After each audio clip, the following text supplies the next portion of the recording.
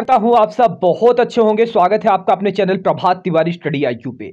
आ, दोस्तों यहाँ पर यूट्यूब के इतिहास का सबसे बड़ा survey UP NHM cut off को लेकर दोस्तों अगर इतने मार्क्स आपके बन रहे हैं तो बिल्कुल आपका सिलेक्शन होने से कोई नहीं रोक सकता। चैनल पे फ़र्स्ट टाइम विज़िट करें तो चैनल को सब्सक्राइब कर लें।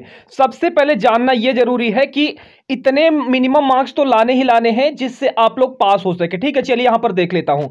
देखिए पास मार्किंग के लिए दोस्तों देख लीजिए मिनिमम थर्टी 33 परसेंट जनरल से ईडब्ल्यूएस e से है। ओबीसी से नॉन क्रीमिलियर की बात करें तो 30 परसेंट और S C S T PWD से 24 परसेंट दोस्तों, यहाँ पर मिनिमम लाना ज़रूरी है, ठीक है? अब यहाँ पर दोस्तों कट ऑफ़ कई चीज़ों पर डिपेंड करेगी। नंबर ऑफ़ वैकेंसीज देख रहे हैं कितनी ज़्यादा है।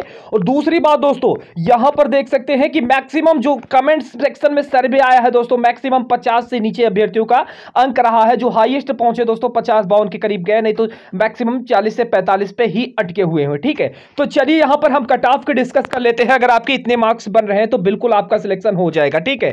चलिए, अगर आप लोग, ठीक है, ध्यान देना, अगर आप लोग जनरल कैटेगरी से बिलोंग करते हो, ठीक है? जनरल कैटेगरी से अगर आप लोग बिलोंग करते हो, अगर आप लोग के 45 प्लस मार्क्स आ रहा है तो बिल्कुल आपका सिलेक्शन यहाँ पर मान के चलिए श्योर है दोस्तों, फाइनल सिलेक्शन के लिए आप लोग जाएँगे। वहीं पर ओबीसी से बिलोंग करते हैं, अगर आपका 42 प्लस बन रहा है, ठीक है? 42 प्लस मार्क्स आ रहा है ओबीसी और ईडब्ल्यूएस वाले तो बिल्कुल आपका हो जाएगा, ठीक है? इस बात को सभी लोग ध्यान देना।